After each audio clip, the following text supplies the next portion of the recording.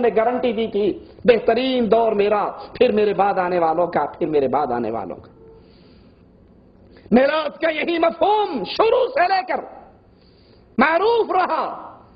सातवीं सदी में, याद करना, सातवीं सदी में, यानी अल्लाह के नबी सल्लल्लाहु अलैहि वसल्लम की वफात के एक तवील अरसे के बाद, सातवीं सदी में ईद मिलाद की बिदअत जो आज इंडिया, पाकिस्तान, बांग्लादेश के बाजारों में आती है, इसका आगाज़ ना अल्लाह के नबी सल्लल्लाहु अलैहि वसल्लम की नबूवत से पहली ज़िंदगी में, न मक्के की ज़िंदगी में, ना मदीना की ज़िंदगी में, न अबू बकर की खिलाफत में, न उमर की खिलाफत में, न उस्मान की खिलाफत में, न अली की खिलाफत में, न हसन की खिलाफत में, न मुआविया की खिलाफत में, न यजीद की खिलाफत में, रिजवानुल्लाह अलैहिम अजमईन। ये सारे खिलाफतों के दौर इस बिदत से खाली है, महफूज है।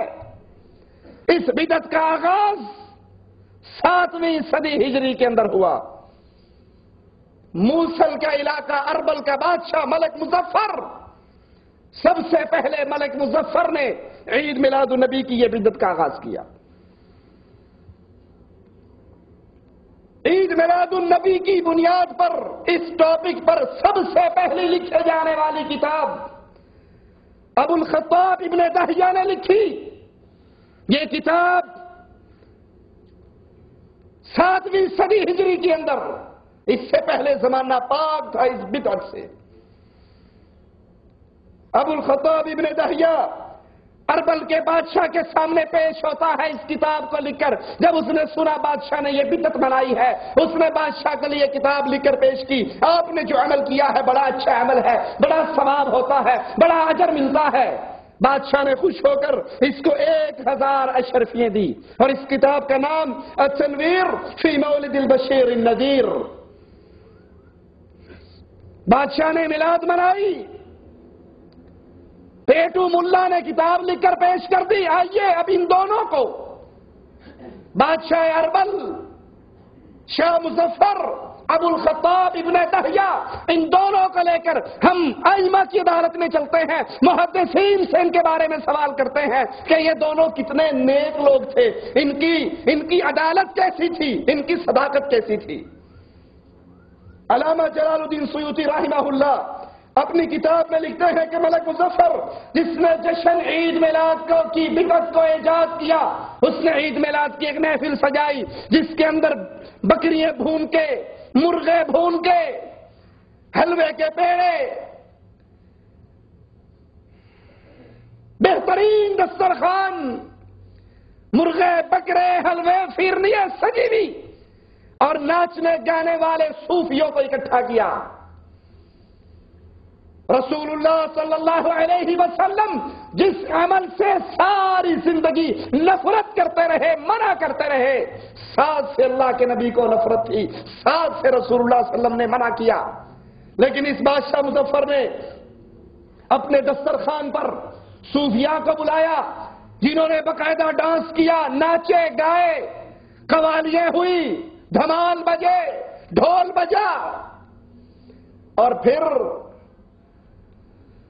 मौलवियों ने अपने हलाल के लिए कई दरवाजे खोले हुए होते हैं। अगर कोई टेलीविज़न की अदाकारा कंजरी डांस करती है तो मौलवियों के फतवे आ जाते हैं, हराम है ये डांस, गुनाह है ये करना। और दरबार के ऊपर, जब मौसीकी की महफिल होती है, दरबार के ऊपर जब कवाली होती है तो बेहतरीन टॉप के सांस बजाने वाले आते हैं, और फिर मुल्ला वहाँ पर डांस भी करता है, भंगड़े भी डालता है। अब चूँकि इस दरबार की, इस मौसीकी की महफिल को कवाली का मुकदस नाम दिया गया है। अब यहाँ पर डांस भी किया जाए तो वो हराम नहीं होता, बल्कि वो होता जी, आपको नहीं पता, इन पे हाल आ गया है। ये हालों बेहाल हो गए हैं। वो सूफी डांस करते रहे महफिल मिलाद पर। और ये बादशाह मलक मुजफ्फर भी उनके साथ मिलकर नाचता रहा। अलामा ताजिदुल फाकिहानी फरमाते हैं रहीमहुल्ला मिलाद की बिगत झूठ बोलने वालों ने और अपने नफ्स की परस्तिश करने वालों ने इसकी एजाद की। ये सुन्नत रसूलुल्लाह नहीं है, ये सहाबा का अमल नहीं है, ये खैरुल करून के अंदर होने वाला काम नहीं है। अलामा जहबी रहमल्ला फरमाते हैं, अबुल खत्ताब झूठी बातें लोगों में मशहूर किया करता था। जिसने किताब लिखी, इब्ने दहिया ये झूठ अपने पास से बना बनाकर, घड़ घड़ कर माशरे के अंदर मशहूर किया करता था। इब्ने हजर अस्करानी रहमहुल्लाह फरमाते हैं, अबू खताब तावीज गंडे किया करता था, दरबार परस्त था, कबर परस्त था। ये तावीज फरोश था, ये तावीज गंडे किया करता था। खबीसुल्लिसान था, अहमद था, और दीन की बुनियादी बातों को भी नहीं जानता था। ये इसका आगाज़ है इस ईद मिलादुलनबी का, जिसके बड़े बड़े इश्तिहार छपते हैं, जिसके बैनर लगते हैं, लाइटिंग होती है और पता नहीं क्या कुछ होता है। आइए अब देखें, सातवीं सदी हिजरी के अंदर जारी होने वाली ये बिदअत, ये तो सातवीं सदी हिजरी में हुई ना। मैं कहता हूँ, नबी सल्लम की वफात के वफात के सात मिनट बाद भी अगर कोई काम बनाकर दीन में दाखिल किया जाएगा तो वो दीन नबी फौत हो गए, वही का सिलसिला खत्म हो गया। जब वही का सिलसिला खत्म हो गया, आसमान से उतरने वाला दीन पूरा हो चुका है। अब इस दीन के अंदर अपने पास से कोई इजाफा और कमी नहीं की जा सकती। बर्र सगीर के अंदर, जशन ईद मिलादुलनबी सूफियों के ज़रिए दाखिल हुई। कहते हैं जी, आप नहीं मानते बर्र सगीर में दीन इस्लाम सूफिया ने तो फैलाया है तो वो यही दीन इस्लाम फैलाया है। सूफिया के ज़रिए ईद मिलादुलनबी बर्र सगीर पाक हिंद के अंदर आई और इसकी इब्तदा कैसे हुई, कुछ लोग इकट्ठे होकर एक मकान में बैठकर रसूलुल्लाह सल्लल्लाहु अलैहि वसल्लम की पैदाइश का ज़िक्र कर लेते। अल्लाह के नबी फला दिन पैदा हुए, फला जगह पर पैदा हुए, इस तारीख को पैदा हुए फिर मर्ज बढ़ता गया जो जो दवा की। बिदत जब आती है तो सुन्नत उठ जाती है। रसूलुल्लाह सल्लल्लाहु अलैहि वसल्लम ने तो इस अमल से रोका था कि तुम ईसाइयों के पीछे ना चलना। ईसाई अपने नबी के लिए क्रिसमस डे मनाते हैं या नहीं? क्रिसमस डे कौन मनाता है? ईसाई। हम अपने नबी का मना लेते हैं। तो उनके साथ साथ चल रहे हैं या नहीं? और मज़े की बात, तारीख का ये इख्तलाफ के नबी नौ रबी अव्वल को पैदा हुए। या रसूलुल्लाह सल्लल्लाहु अलैहि वसल्लम बारह को पैदा हुए। शिया रिवायात के मुताबिक सतारह को पैदा हुए। ये तारीख का इख्तलाफ दलील है कि सहाबा ने इस अमल को नहीं मनाया। क्यों? पाकिस्तान वालों पाकिस्तान किस दिन आज़ाद हुआ? क्यों जी? चौदह अगस्त को इंडिया वालों इंडिया कब आज़ाद हुआ? पंद्रह अगस्त को। अब एक सौ साल नहीं सात सौ साल भी गुजर जाए तो इख्तलाफ हो सकता है इस तारीख में? क्यों? क्योंकि जिस दिन से आज़ाद हुआ, उसी दिन से जश्न मनाया जा रहा है। हर नस्ल देखती है, चौदह को पाकिस्तान, पंद्रह को इंडिया का योम आज़ादी है। कोई इख्तलाफ हो सकता है? पहले दिन से जश्न चल रहा है ना? सौ साल भी गुजर जाएँगे तो इख्तलाफ और अगर ये जश्न ना होता तो फिर मोरखीन में इख्तलाफ होता कि यार पता नहीं चौदह का हुआ था, पता नहीं सोलह का हुआ था।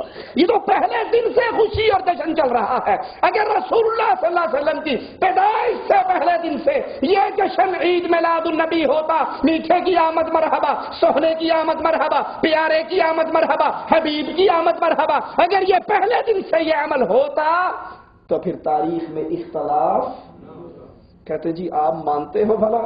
आप कहा मानते हो? अबू जहल, अबू लाहब बैठा हुआ था, उसकी सोबिया लोंडी दौड़ती हुई आई और उसने आकर कहा कि सरदार तेरे यतीम भतीजा, पैदा हुआ है, तेरे भाई अब्दुल्ला के घर में पैदा हुआ है। तो उसने अपनी दो उंगलियों के इशारे से यूँ करके उस सोबिया को आज़ाद कर दिया। खुशी में, देखो, वहाँ भी ईद मिलादुलनबी नहीं मनाते और अबू लहब ईद मिलादुलनबी बना रहा है और उस जश्न के तौर पे सोबिया को आज़ाद कर रहा है।